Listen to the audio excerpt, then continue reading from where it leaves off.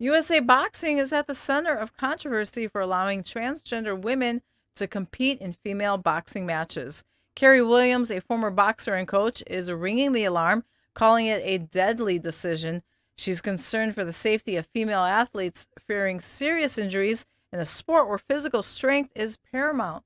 USA Boxing's new rules require transgender women to meet specific hormone levels and undergo, undergo surgery to compete. Critics, including the Association of Ringside Physicians, are slamming the move, worried about increased injury risks and the impact on women's sports. Amid fears of backlash in our cancel culture era, Williams is pushing for a separate category for transgender athletes, aiming for fairness while respecting all competitors. This debate isn't just about boxing, it's about safety, fairness, and the future of women in sports.